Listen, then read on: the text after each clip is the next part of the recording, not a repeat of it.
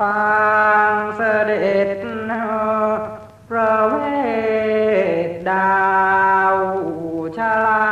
ลัยประวัติศาสตร์ใช่ไหมครับโบราณของไทยมาว่าในท้ายเนี่ยก็เคยโดนลงโทษนะครับ ก็คือพ่อพันไทยนรสิงห์ก็รู้สึกกังวลอยู่ครับทีแรกพอมาถึงตัวเองก็ไม่ได้ว่าไม่กลัวนะครับก็กลัวครับ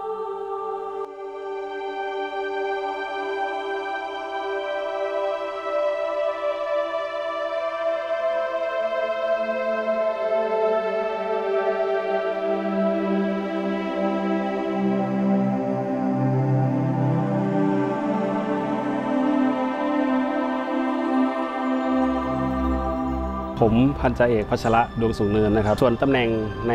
งานพระราชพิธีในครั้งนี้ก็คือในท้ายเรือพระที่นั่งสุพรรณหงส์ครับ หน้าที่ควบคู่กันไปก็คือดูแลเรือพระราชพิธีครับก็คือเรือดั้งเรือแซงที่จอดอยู่ที่วัดราชา ผมก็ได้ไปมีหน้าที่รักษาความปลอดภัยเรือ มีหน้าที่ดูแลเรือมิดน้ำผูกเชือกแต่งเชือกประมาณนี้ครับในท้ายก็ถือว่า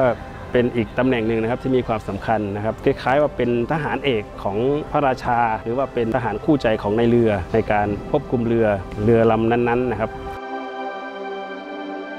ต้องดูแลสุขภาพนะครับ ตั้งแต่ออกกำลังกาย แล้วก็อาหารการกินรวมถึงการพักผ่อนออกกำลังกายให้ฟิตร่างกายอยู่ตลอดเวลาครับ